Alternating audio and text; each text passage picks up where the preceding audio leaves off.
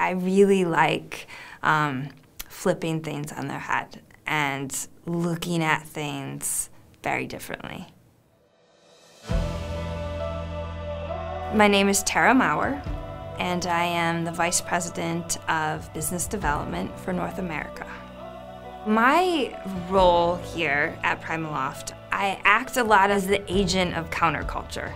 I'm like the the 70s British punk band where I'm trying to upend a system that has been institutionalized for decades and do it differently. I was introduced to sustainability as a child through my father and we would spend um, the summers vacationing in the national parks. And that really kind of served as the foundation for my feeling to protect and be a steward of this planet. Being able to work for a company that we develop products that are going to change generations is, it's a privilege. The challenge with Pure was to look at a manufacturing process that is used globally and reinvent the way that we are producing a product and do so without compromising the performance.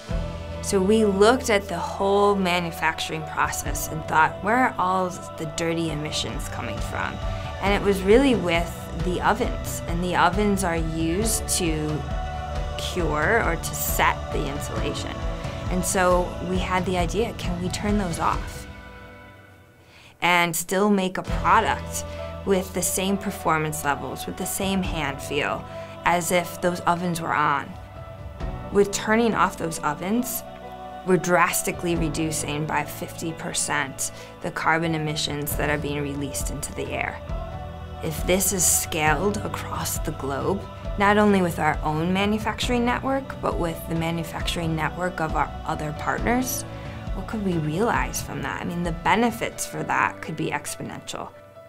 We work at such a high rate of speed that sometimes it's difficult to quiet your mind to get out. I will go there at the nursery to have a minute of solace.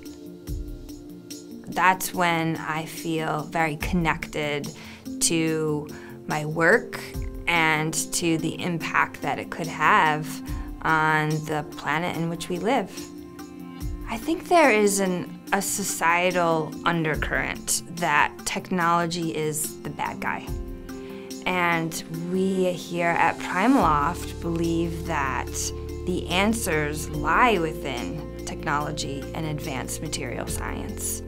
What we're doing here today is going to save us. And I believe that we are developing materials that complement nature, where each one is elevated where the performance is not compromised nor sacrificed. So I think we've just scratched the surface, really, of what we're gonna do.